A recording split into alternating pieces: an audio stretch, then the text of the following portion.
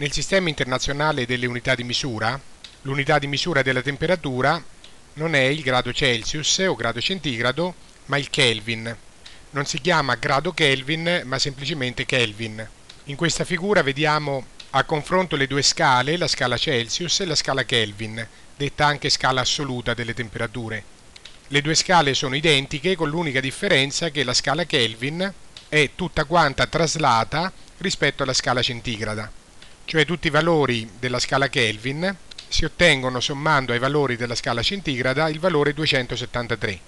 Per la precisione sarebbe 273,15. Per esempio, 0 gradi centigradi corrispondente alla fusione del ghiaccio corrisponde a 273 Kelvin e 100 gradi centigradi, l'ebollizione dell'acqua, corrisponde a 373 Kelvin. E lo stesso per tutti gli altri valori. In particolare, meno 273 gradi centigradi corrisponde a 0 Kelvin.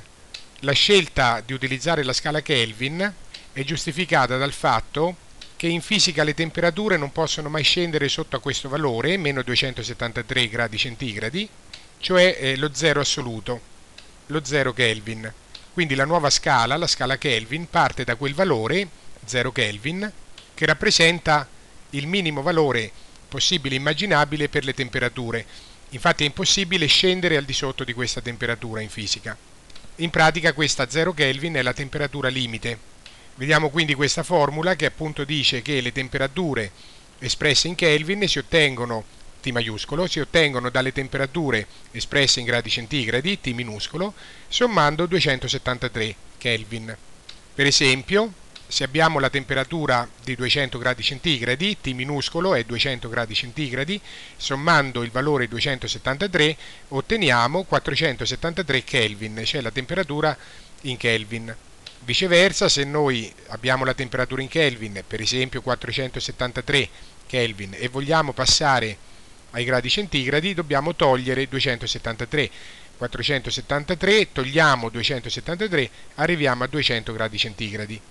La temperatura assoluta è una scala naturale, infatti non è possibile raffreddare nessun corpo a 0 Kelvin o al di sotto. Per questa ragione 0 Kelvin è lo zero assoluto. A parte questa traslazione di 273 unità, le due scale sono identiche, nel senso che le tacchette, i singoli gradi, sono precisamente uguali, cioè la variazione di un Kelvin è identica a quella di un grado centigrado. Per esempio, se noi passiamo da 200 a 201 gradi centigradi, l'incremento di temperatura è identico a passare da 473 a 474 Kelvin, cioè le tacchette sono distanziate nello stesso identico modo nelle due scale. Quindi il riscaldamento o il raffreddamento di un Kelvin è uguale al riscaldamento o al raffreddamento di un grado centigrado.